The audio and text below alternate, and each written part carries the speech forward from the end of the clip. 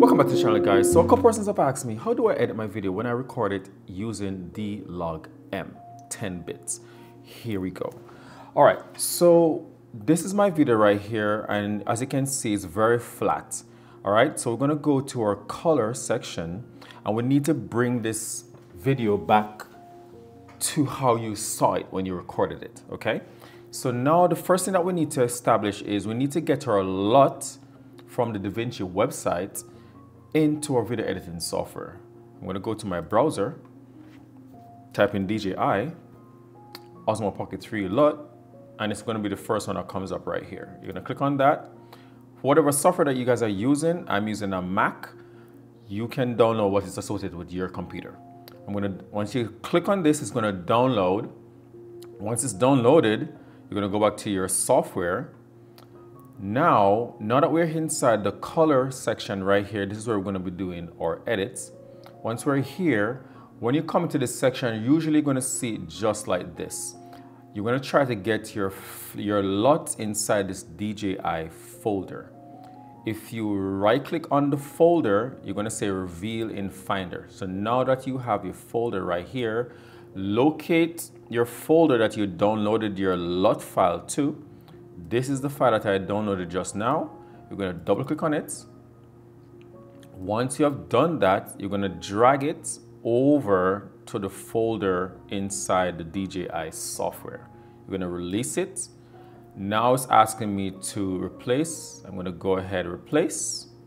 Once I've done that, you're going to move this to the side just to get it out of the way. We can close this now to get the, the LUT active inside the software, you're gonna right click and we're gonna say refresh. Once we have done that, if you double click on the folder, you will see that the file is right here that we just downloaded, okay? So what we're gonna do now is we need to come to our lower section right here and this is where we're gonna do all our editing for our shadows, midtones, highlights. I notice it says lift, gamma, and gain, but consider these as your shadows, midtone, and highlights. And this is your global overall when you want to bring up the brightness on the entire video, okay? So we want to do more of a localized um, editing of this video where you can lift the shadows, lift your midtone, lift your highlights. Hope you guys understand that. Okay, so what we're gonna do first, we're gonna come to the right section over here. You're gonna see this little rectangle over here. This is called a node, okay guys? This is where we're gonna have everything done to your video. I need to create three more nodes. So what I'm gonna do is I'm gonna press my option S a couple of times. To get the fourth one, you can also right click and say add a serial node. So now that we have created our nodes, I'm gonna right click on it and I'm gonna, I'm gonna say node label. I'm gonna call this LUT. I'm gonna come back to number one. I'm gonna label it as well as edit. I'm gonna label this one as HDR. I'm to come here and label this one as detail because I'm to sharpen the video just a, a, little bit, okay? Okay guys, so now that we have labeled our, our nodes over here, I'm to bring this one down here because what happens is we need to put our LUT on this node right here. So we're to come over here. If you're not seeing your screen looking like this, maybe you have it like this, all right? And this is a LUT that we just downloaded into the DaVinci software. I'm to come back here. Now, all we need to do to get this LUT onto this node, two ways we can do. We can double click on here, but we can also right click and go to LUT, DJI, and the one we just downloaded. All right, now we have our LUT on our node. It's now active. If we, if we go back here, you can see that if you go before, after, before, after, you're gonna see that our LUT is now active on our node and you can actually see the little icon right here for our LUT. Okay, so now that we have done that guys, let's go to our edit section. Now, once we're here on the edit node, I'm gonna drag my mouse over these two just to get it out the way for a little bit. Okay, let's go back to our edit now. So now what's going to happen is once we're here inside the color wheel section, I'm going to come here. We have our lift, gamma, gain, and offset. Consider your lift as your shadow, your gamma as your midtone, your gain as your highlights, and your offset as your overall. All right, overall meaning it's going to be a global adjustment to your video. Okay, guys, so let's come back to our lift section. And all I want to do right now, as you can see, there's a right here is pretty dark.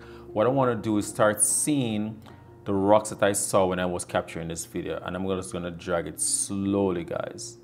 So once I start dragging it in, you can see that the rocks are coming into view right now, okay? And that's looking pretty good.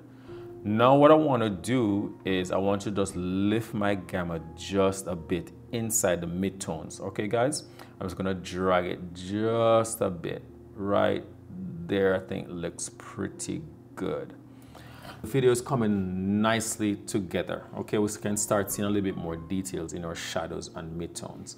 So what we want to do now to this video is looking a little bit flat still. The colors are there, but they're not as vibrant as how I saw them that morning. So what I need to do now, I'm going to come to my HDR and I'm to come down here to this no this this wheel right here which is the HDR color wheel okay guys so now that we are here on the on the HDR node we're now going to just do a global effect of the saturation on this video. If you come here to the global section to the lower right, you're going to see SAT, that stands for saturation. And all we're going to do is put our mouse right here, and you're going to see that double arrow. And all you do now, guys, you're just going to drag, click, and hold, and move your mouse to the right. And I think I'm going to go to about 1.40 and I think that looks pretty good. It's pretty much how I saw it that morning. Okay guys?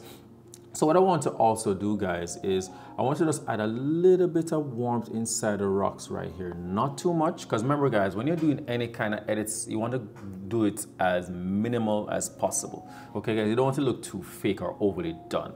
Alright so what I'm going to do now and we're going to come to our log section right here. This is where we need to be. All right, guys, so now what I want to do is I want to affect a little bit of warmth inside the midtones right here. So all I'm gonna do, guys, is I'm just gonna go here. You see this little dot in the middle of the color wheel?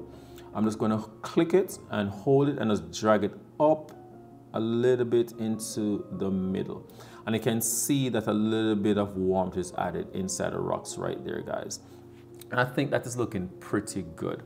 So let's go back to our main color wheels right here. Okay, guys? So now that we are here, what we need to do is I want to add a little bit more details in the video.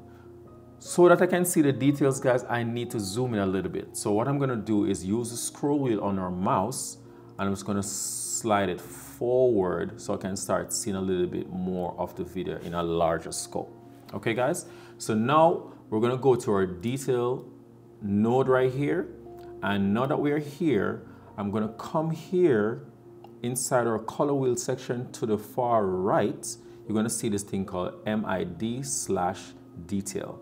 This is where we're gonna be. So all I'm gonna do now, as now, as you see the mouse over the wording right here, you're gonna see a double arrow. You just click and hold, and you're just gonna drag. I'm gonna exaggerate a little bit, guys, so you can start seeing how much detail we can add inside our video. Okay guys, I'm gonna double click on that just to reset it and I'm just gonna slowly do it until I feel comfortable. And I think that for me right there looks, I think 77 is good. I'm gonna go back out and look at the overall video. Let's go back to our edit section and see what it looks like. So I'm gonna come here, I'm gonna press, I'm gonna make sure to drag this all the way to the end, I'm gonna press my space bar just to see how it looks.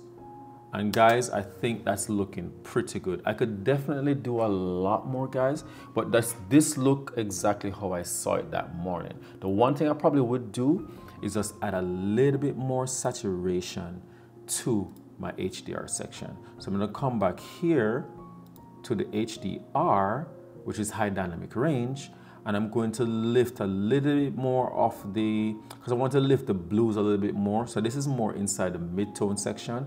I'm to go right here, which is our mid-tone. It's called shadows here, but I'm going to lift the mid-tones. I'm just, all I'm going to do is just go here and drag this up a little bit more just like that and I think that's looking pretty good guys so now let's check and see what our before and after looks like I'm to click on this right here before after before after and guys I think we have done a pretty good job right here if you guys have any questions guys in the comment section. Leave them down there for me and I'll try to do my best to respond as quickly as I possibly can, guys.